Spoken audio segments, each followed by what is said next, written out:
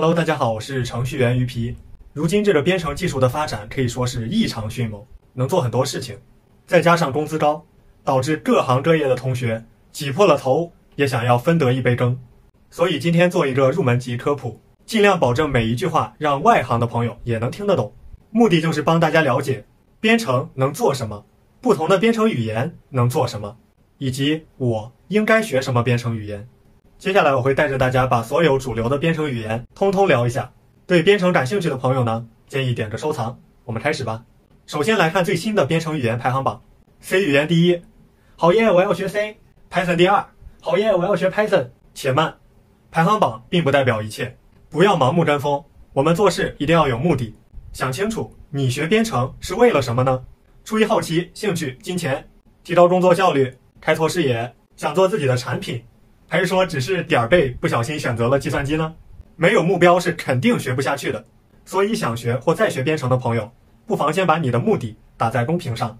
此前我做过一个投票，大多数同学学编程还就是为了找工作。那我就从如今最适合找工作、企业需求最大的两个方向 Java 和前端开始说起。Java 本身是一门高级语言，高级在哪儿呢？代码好懂，功能丰富，成熟稳定，写出来的程序可以跑在。多个不同的操作系统上，但真正促使 Java 被推向神坛，成为内卷之王、培训机构赚钱宝典的呢？还是它丰富的应用场景和生态？后端、桌面程序、安卓 App、物联网、大数据，但凡你能想到的东西，Java 都有现成的开发工具和方便的类库框架，就是让你写更少的代码，更快的完成开发。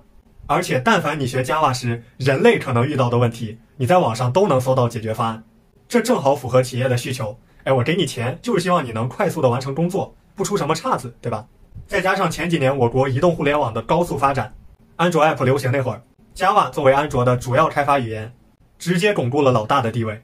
再说说前端啊，简单来说就是写界面，它其实包含了三种语言：HTML、CSS，还有最重要的 JavaScript。外部前端呢，入门相对简单，优点是写出代码立刻就能看到效果，很适合培养兴趣。而且为啥它需求量这么大呢？你想想。大部分公司做产品就是为了给用户用的，没有界面你用着嘚儿啊，对吧？而且现在前端的应用越来越广泛了，像大前端，你可以用同一套代码开发出网站、桌面程序、安卓、iOS APP，甚至还有小程序、快应用等等。提到小程序，你敢相信这玩意儿的数量竟然已经远超了 APP？它有很多的优点，免安装、方便、易分享，基于微信用户基数大，再加上开发成本低，是很适合创业的一个产品形态。当你有了想法，就差一位程序员的时候，小程序就是首选。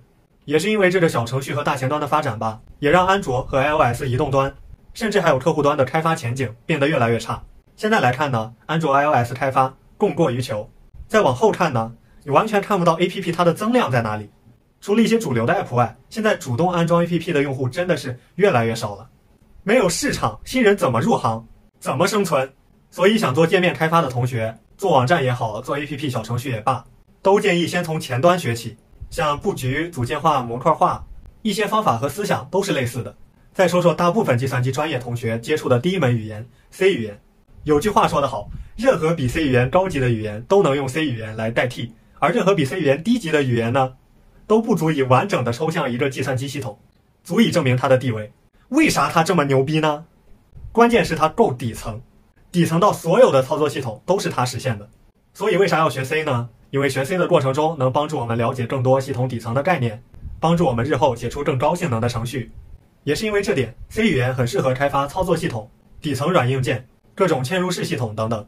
再说说 C 加加，不是 C 草，看名字就知道它把 C 语言绿了。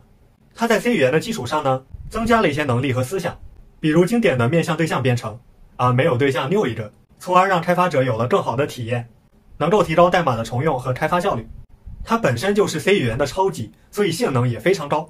综合这两点呢，C 加加的使用场景也非常广泛。后台开发、桌面程序、编程语言、框架、类库，比如说 Java 就是 C 加加开发的，还有图像、音视频处理等计算密集型任务，还有 3D 引擎，都是 C 加加的主场。提到引擎啊，我们来说一下这个 C# Sharp 和 .NET，不是 C 井号和点 .NET 啊，.NET 是一个框架和运行环境。而 C# Sharp 呢是运行在其上的编程语言之一，此外还有 VB.NET。如今 C# Sharp 在国内流行度一般，但它毕竟是游戏 VR、AR 开发平台 Unity，主要使用的编程语言，所以近几年也不会被淘汰。下面聊几个有争议的语言，首先是这个 Python 啊，这个入门简单，生态好，很多现成的代码类库都能直接用，因此啊，在工作中很适合拿 Python 来编写一些小的工具，像文件处理啊、表格处理、脚本等等，能提高办公效率。它也是啥都能做，还是爬虫、大数据、数据分析、AI 的好助手。那你说 Python 重要吗？当然重要，铺天盖地的 Python 广告，还有小学生都开始学 Python 了，就是最好的证明。真的是每个人都可以学，但是它并不是企业开发的推荐语言。想找开发工作，就不要去重点研究 Python 了，把它当成工具或者入门培养兴趣的语言就好。因为同等开发效率下，Python 作为一名解释执行的动态语言。它的运行效率实在是太低了，甚至可以比 C 加加慢一百倍，这是很可怕的呀。同理，这个曾经热火朝天的 PHP，它有一个美称，相信就不用我说了，大家一起把它打到公屏上。如今啊，PHP 虽然未被淘汰，但却在走向衰落，不再受到大公司的青睐。为啥呢？你说以前 PC 时代拿 PHP 开发的网站，弱类型对吧？开发起来贼快贼爽，Java 写五天，PHP 一天搞定。但现在呢？时代不同了，互联网的产品形态逐渐向移动端倾斜，而不再是传统网站。PHP 虽然也能做后台，但它的性能实在是太低了。而且随着 Java 和其他编程语言的发展，他们的开发效率上来了。假设都能花同样的时间完成开发，谁还会选择性能更低的 PHP 呢？也是因为这点，近几年 Go 语言在国内发展迅猛。它语法简单，天然支持高并发，性能贼高，很适合开发现在主流的云原生应用。像大名鼎鼎的 Docker 容器，还有我们最爱的小破站，都是用 Go 语言开发的。再加上国内生态越来越好，用 Go 去开发应用的成本也大大降低。同等时间开发出一个性能更高的应用，它不香吗？像字节跳动、还有腾讯等互联网大厂，早都开始拥抱 Go 了。可以想象，未来两三年 Go 语言的发展会是一片光明。还有一些程序员常用的语言，像这个 SQL，它是数据库查询语言，可以从数据库中查找和操作数据。想从事后台开发、数据库管理相关工作的同学，一定要把 SQL 学好。除了程序员啊，现在很多产品经理也开始学 SQL 了，取数据还是很方便的。别看程序员卷啊，这个产品经理更是神仙打架。还有 Linux Shell 这样一门脚本编程语言，和 Python 类似，把它当成工具学就好了。至于像 Kotlin、Scala、Rust 这种新兴的编程语言，它们都有特定的应用场景，大家感兴趣可以上网了解一下。讲了这么多编程语言，总结一下。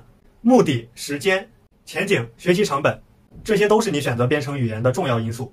想快速就业，就直接学前端或者后端；倾向于所写即所得，更快的看到效果，那就选前端；更想锻炼思维逻辑能力，那就首选后端 Java 或者 Go 语言。还在学校，时间充足，想打好基础，那就老老实实从 C 语言学起。如果只是对编程感兴趣，想自己开发些工具，那么 Python 是你的不二之选。最后，希望大家记住。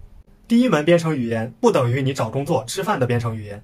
想学编程就从现在开始，对什么感兴趣就学什么，时间允许就大胆尝试，后面再深入学习一门语言，学会一门再学其他的也就很轻松了。